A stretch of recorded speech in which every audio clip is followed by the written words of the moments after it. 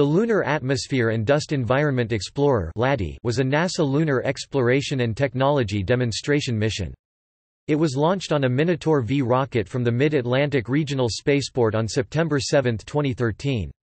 During its seven-month mission, LADEE orbited around the Moon's equator, using its instruments to study the lunar exosphere and dust in the Moon's vicinity. Instruments included a dust detector, neutral mass spectrometer, an ultraviolet visible spectrometer, as well as a technology demonstration consisting of a laser communications terminal. The mission ended on April 18, 2014, when the spacecraft's controllers intentionally crashed LADEE into the far side of the Moon, which, later, was determined to be near the eastern rim of Sundman V crater. Planning and preparations LADEE was announced during the presentation of NASA's FY09 budget in February 2008. It was initially planned to be launched with the Gravity Recovery and Interior Laboratory satellites. Mechanical tests including acoustic, vibration and shock tests were completed prior to full-scale thermal vacuum chamber testing at NASA's Ames Research Center in April 2013. During August 2013, LADEE underwent final balancing, fueling and mounting on the launcher, and all pre-launch activities were complete by August 31, ready for the launch window which opened on September 6. NASA Ames was responsible for the day-to-day -day functions of LADEE while the Goddard Space Flight Center operated the sensor suite and technology demonstration payloads as well as managing launch operations. The LADEE mission cost approximately $280 million, which included spacecraft development and science instruments, launch services, mission operations, science processing and relay support. Atmospheric glow The Moon may have a tenuous atmosphere of moving particles constantly leaping up from and falling back to the Moon's surface, giving rise to a dust atmosphere that looks static but is composed of dust particles in constant motion. According to models proposed starting from 1956, on the daylit side of the Moon, solar ultraviolet and X-ray radiation is energetic enough to knock electrons out of atoms and molecules in the lunar soil.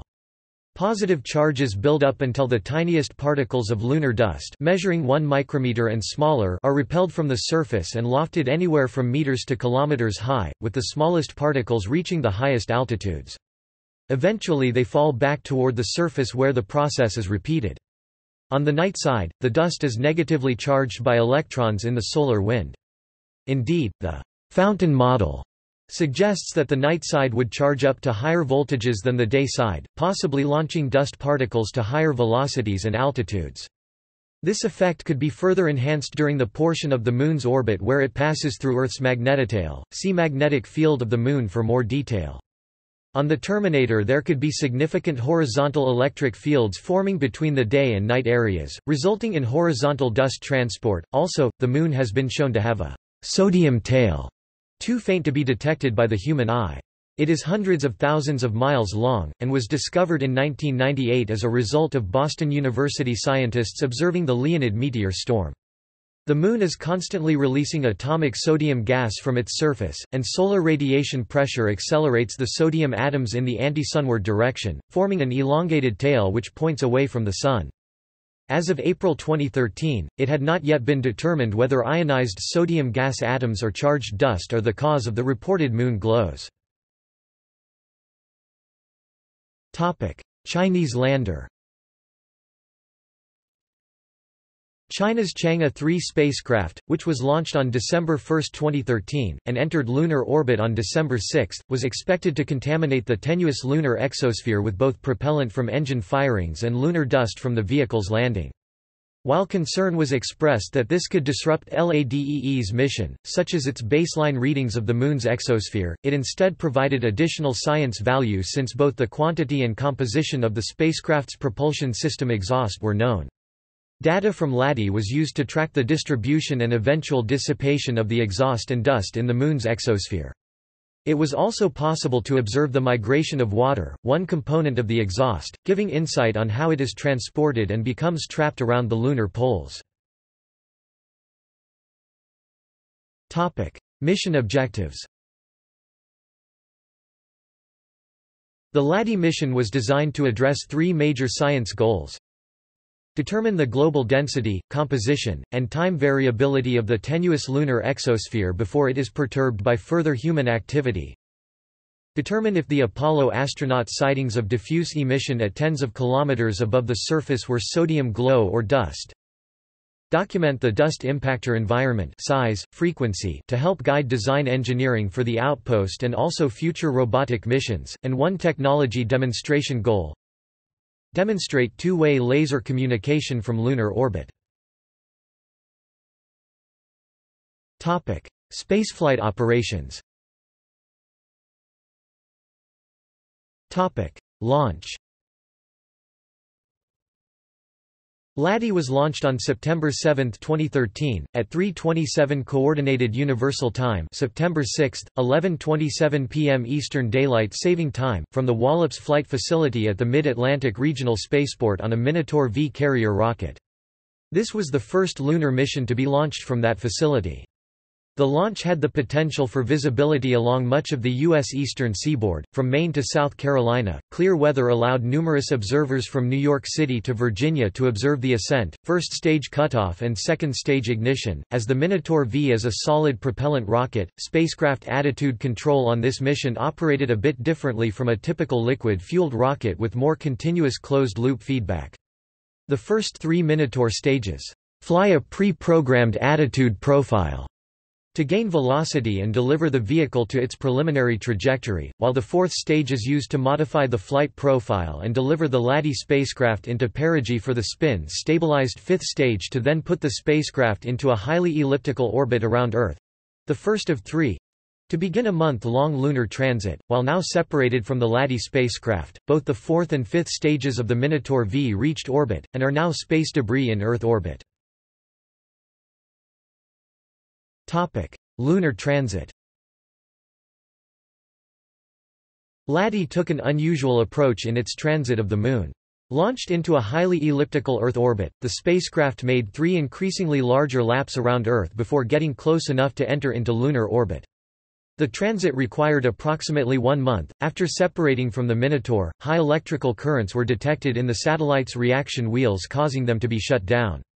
There was no indication of a fault, and after the protection limits were adjusted, orientation with reaction wheels was resumed the following day. The LADEE spacecraft made three phasing orbits of Earth before it accomplished a lunar orbit insertion (LOI), which occurred at perigee of the third orbit using a 3-minute engine burn. The target orbit for the third Earth orbit had a perigee of 200 km 120 miles, an apogee of 278,000 km 173,000 miles and an inclination of 37.65 degrees. The planned argument of perigee is 155 degrees, while its characteristic energy, C3 is 2.75 square kilometers per square second. The novel trajectory using orbital phasing loops was done for four main reasons. The Minotaur V launch vehicle had insufficient delta V to put the 383 kg (844 pounds) LADEE directly into a trans-lunar injection. To handle potential off-nominal launch dispersions from the Minotaur V, which is a stack of five solid rocket stages, and is not considered to be a particularly precise rocket, in a propellant-efficient manner while leaving the orbit profile flexible to large dispersions in the initial injection orbit. To widen the launch window to five days. In the event, LADEE did not need this as the launch occurred at the beginning of the window on the first day. To increase mission robustness in the face of any anomalous or missed orbital maneuvers with the spacecraft. Topic lunar orbit and systems checkout LADEE entered lunar orbit on October 6, 2013, when LADEE was put into an elliptical capture orbit of 24 hours duration. LADEE was further lowered into a four-hour orbit on October 9, 2013. One further burn occurred on October 12 lowering LADEE into a circular orbit around the Moon with an altitude of approximately 250 km 160 miles for its commissioning phase, which lasted about 30 days. LADEE's systems and instruments were checked out after the orbit was lowered to 75 km 47 miles altitude. Topic Lunar Laser Communication Demonstration LADEE's Lunar Laser Communication Demonstration LLCD Pulsed Laser System conducted a successful test on October 18, 2013, transmitting data between the spacecraft and its ground station on Earth at a distance of 385,000 kilometers, 239,000 miles. This test set a downlink record of 622 megabits per second (mbps) from spacecraft to ground and an error-free data upload rate of 20 megabits per second from ground station to spacecraft. Tests were carried out over a 30-day test period. The LLCD is a free space optical communication system. It is NASA's first attempt at two-way space communication using an optical laser instead of radio waves. It is expected to lead to operational laser systems on future NASA satellites.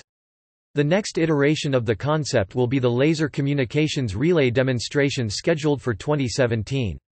Also, it has been proposed as payload for the Phobos and Deimos and Mars Environment orbiter. Topic science phase For the science operations, LADEE was maneuvered into an orbit with a periselene of 20 km 12 miles and an aposelene of 60 km 37 miles. The science phase of LADEE's primary mission was initially planned as 100 days, and later given a 28-day extension. The extension provided an opportunity for the satellite to gather an additional full lunar cycle worth of very low-altitude data to help scientists unravel the nature of the Moon's tenuous exosphere. Topic end of mission Spacecraft controllers ordered a final engine burn on April 11, 2014, to lower LADEE to within 2 km 1 mile of the Moon's surface and set it up for impact no later than April 21. The probe then dealt with the April 2014 lunar eclipse on April 15, during which it could not generate power because it was in Earth's shadow for four hours. Science instruments were turned off and heaters were cycled during the event to conserve energy but keep the spacecraft warm. Engineers did not expect LADEE to survive, as it was not designed to handle such an environment, but it exited the eclipse with only a few pressure sensor malfunctions. During its penultimate orbit on April 17, LADEE's periapsis took it within 300 meters (1000 feet) of the lunar surface. Contact with the spacecraft was lost around 4:30 coordinated universal time on April 18 when it moved behind the moon. LADEE struck the Moon's far side surface sometime between 4:30 and 5:22 at a speed of 5,800 km per hour, 3,600 miles per hour. The far side of the Moon was chosen to avoid the possibility of damaging historically important locations such as the Luna and Apollo landing sites. NASA used the Lunar Reconnaissance Orbiter to image the impact location, which was determined to be near the eastern rim of Sundman V crater. Topic: Spacecraft. Topic: Design. LADEE is the first spacecraft designed, integrated, built, and tested by NASA's Ames Research Center.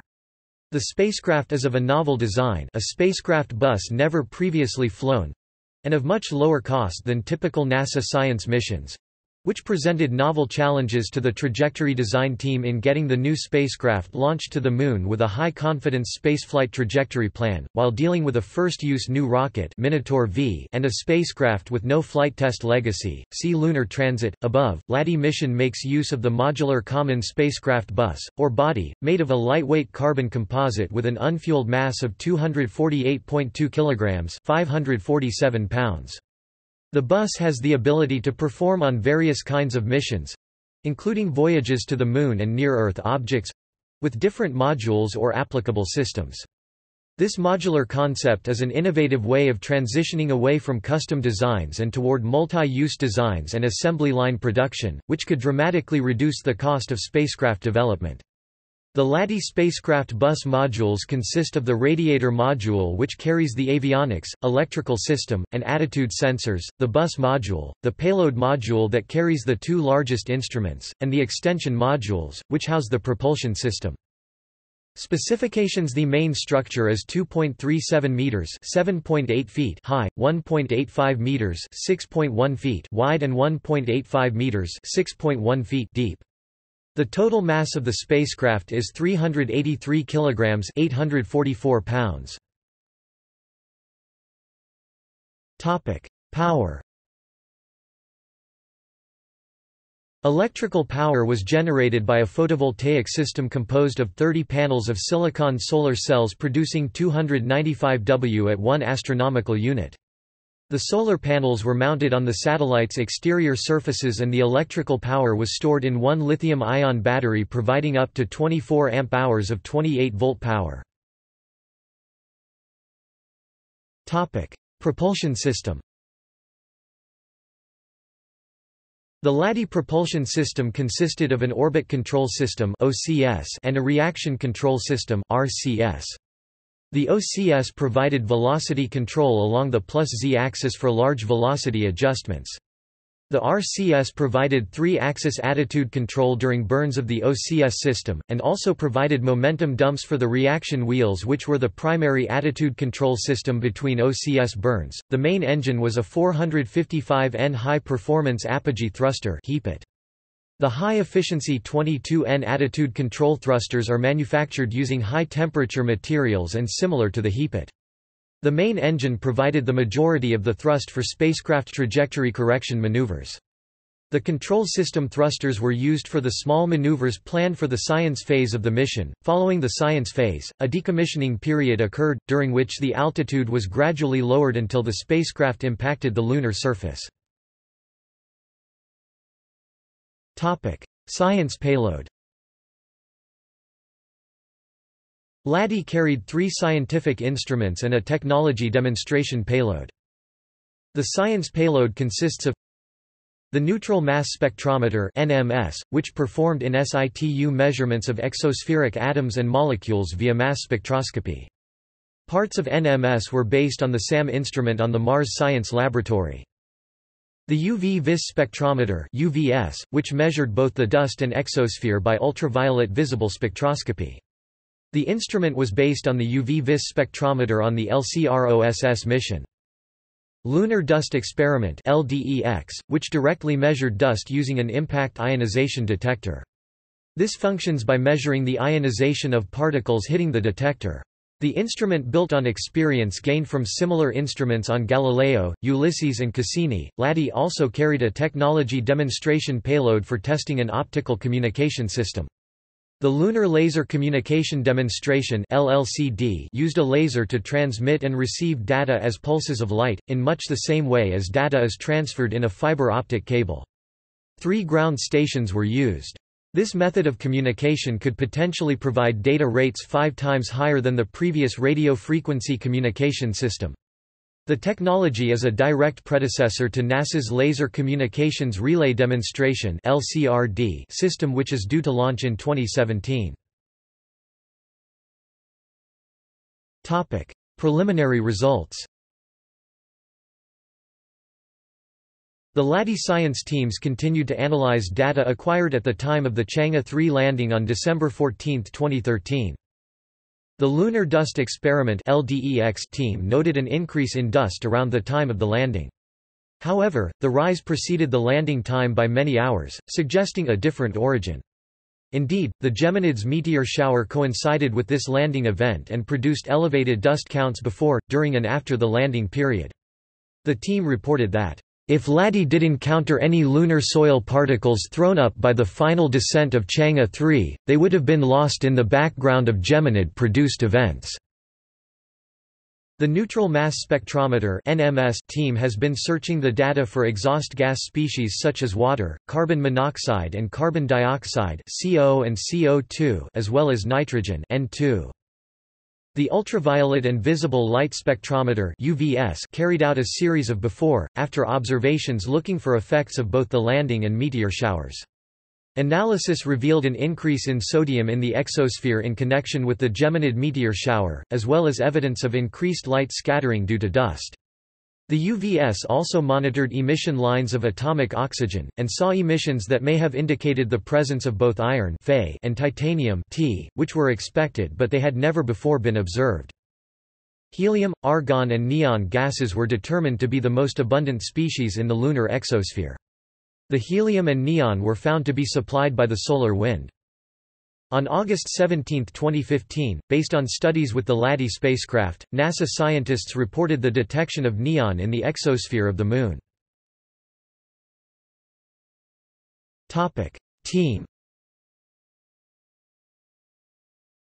The team for LADEE included contributors from NASA headquarters, Washington, D.C., NASA's Ames Research Center, Moffett Field, California, NASA's Goddard Space Flight Center, Greenbelt, Maryland, and the Laboratory for Atmospheric and Space Physics at the University of Colorado at Boulder. Guest investigators include those from the University of California, Berkeley, the Johns Hopkins University Applied Physics Laboratory, Laurel, Maryland, the University of Colorado, the University of Maryland, and NASA's Goddard Space Flight Center, Greenbelt, Maryland. Gallery References External links NASA's LADEE mission site LADEE at NASA Science MIT's Lincoln Lab, Lasercom Terminal Development NASA's Lunar Science Program, February 27, 2008 Kelly Snook Overview for K-8 students YouTube video